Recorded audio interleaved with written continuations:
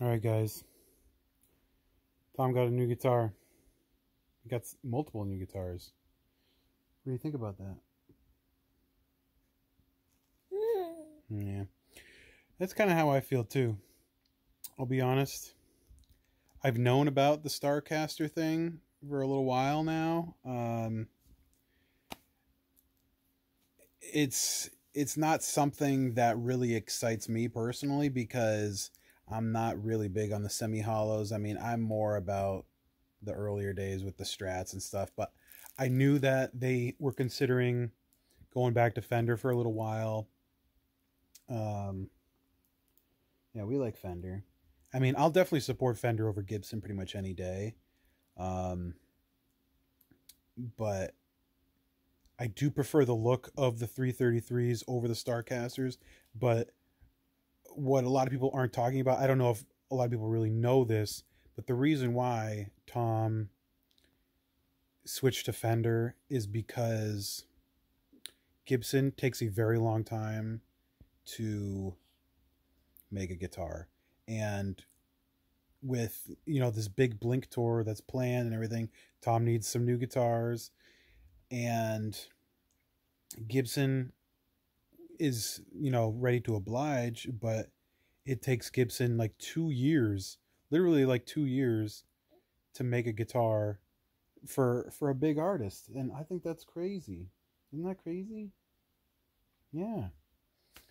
And i mean that's just really unacceptable as far as you know getting your artists what they need. And i mean I'm sure that they could get Slash or some other, you know, big guy, Angus Young or something. If they needed five guitars or something, I'm sure they could do it in a week or whatever if they really wanted to. But I don't know. That that's something I've heard direct from some of Tom's guys, um, like Jeff. Um, goes by Humble Brag on uh, Instagram. Jeff Pariah, I think his his name is. Um, good guy. He's worked on a lot of Tom's guitars. He's shown off a lot of Tom's guitars. Um, that's how I got a lot of the pictures from um, from a bit ago with um, like some some of the strats and, and the stuff that he has, and um, he's been pretty open about what's been going on. He, I haven't talked to him personally about the Starcasters, but I like I said I knew that that was coming because I know people.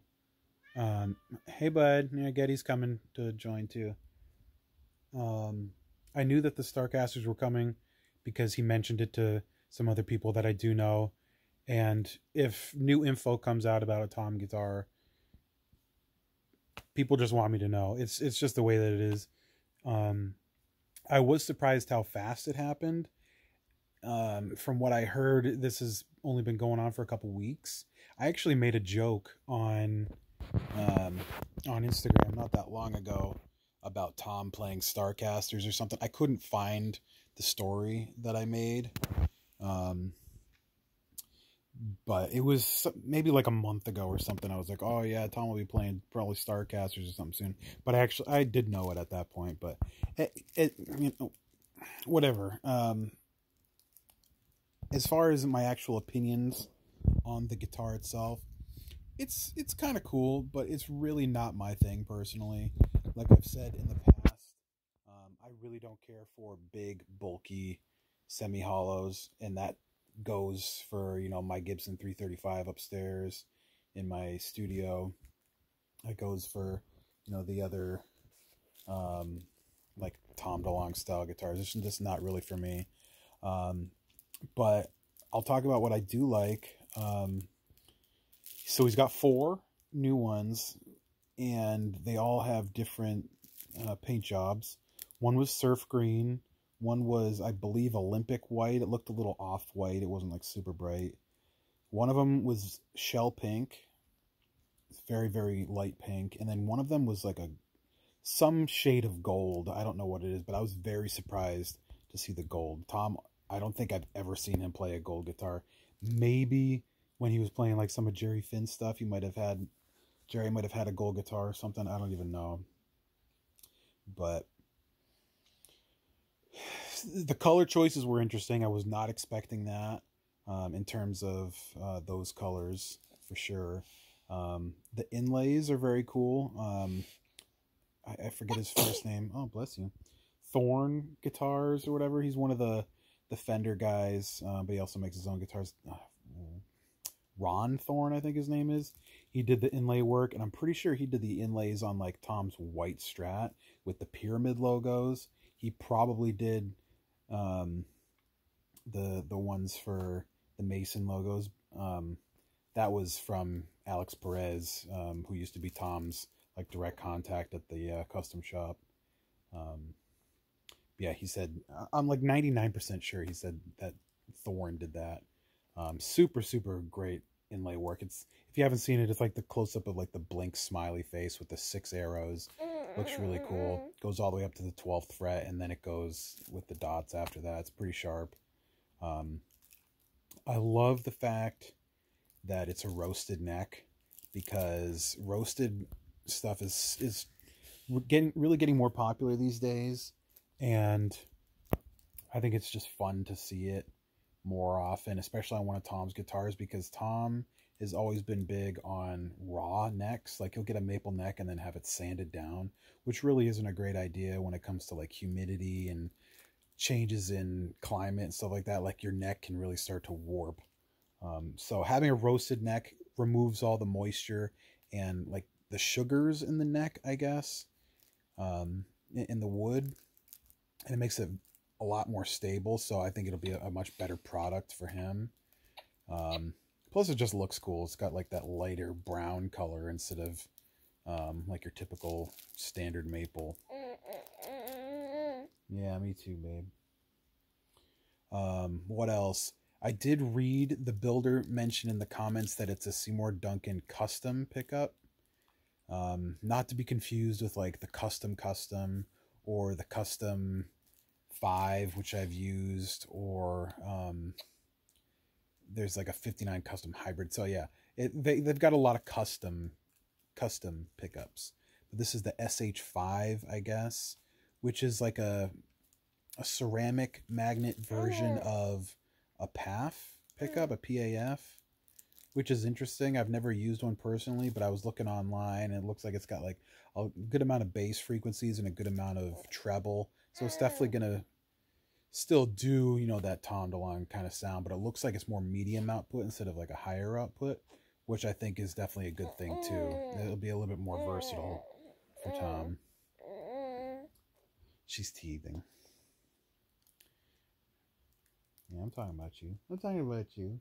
Hey. Um, what else? Um, it's a maple maple body. Uh, most semi hollows are maple, but he did confirm that in the comments. I forget the builder's name, but um, he's on he's on Instagram, and um, I don't know. I, I think it's cool that he covered at least one of them in some stickers. You know, I'm a fan of the sticker stuff.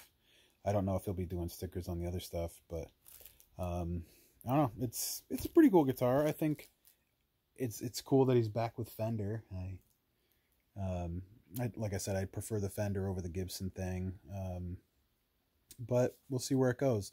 It'll be interesting if they do a production model. I don't think that they've decided on that yet. If as far as I could tell from comments and stuff, I could definitely see it selling pretty well. Um, but I don't know. We'll see. It is what it is. Um, yeah. What do you think? Do you like it? Yeah, she likes it. So, hopefully, that kind of gave you some answers, I guess. Um, another tidbit I guess they were considering doing Jazz Masters for a while um, because Tom did want like a bigger guitar, but I guess the jazzes just weren't big enough for him. He def- he just prefers the uh, he just prefers the the bigger like semi hollows, which I totally get. Tom's a big dude, um, but it's not it's not my cup of tea really.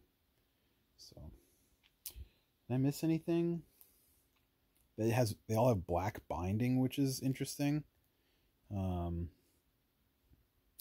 I'm not a big fan of black binding, but you also don't see it very often. Um, but it's cool. I, I like that we're getting into a new era. You know, it's it's it's something exciting. I mean, I really didn't care for the sort of designs they were doing on the Gibsons over like the last Ava tour. They made some of them look like old like WW2 WW2 uh, World War II like bombers or something, or like made it look like some of their airplanes or something like that. I don't know. I didn't really like it. Um, so we'll see what happens. I think it'll be cool. I hope. Well, I was gonna say, I hope he does something cool with amps, but it looks like he's doing like Axe-Fx stuff these days, which is what I use. You know, it's super easy. Um, but it would be cool to see him rocking like a new, a new company or something, maybe like Orange or I don't know, Friedman would be great. Um, or even go back to the Mesas. But I, I hope I don't see him using like the like the Vox and the Fender amps anymore. I don't really care for those, but I don't know. We'll see what happens. That's that's where I'm going to cut it off. I don't I don't have anything else to say, but hopefully you enjoyed my quick thoughts. Sorry the quality of the video is not great. I I'm doing the front facing camera right now. Um, but just me and the kiddo hanging out. I didn't have time to record this in my in my car, so you good? You're great. Um, so yeah, I'll see you guys later. Let me know what you think. Um, I, I think it's going to be a big crowd pleaser for a lot of people. I and I, I will say I don't have any plans to do any sort of Starcaster builds or anything like that. It's just like I said, not my cup of tea. I do know that Third Story Guitars, who I've gotten a lot of my bodies from, has expressed interest in making some. So if you have any interest in that, hit him up. I do know that you can spec some bodies from Warmoth uh, that will get you very close. They call it the Mooncaster, I think, but it's basically the same exact thing. Um, so yeah, that's all I really got to say. And they do have for the neck. You wouldn't do like the Mooncaster neck. You would do like the CBS style neck. Tom's using basically the same style, like headstock and everything as like the Strats used to do. So I like that. So anyway, I'm out of here. I keep looking at the wrong spot. I keep thinking the camera's up here, but it's over here. I'll see you later.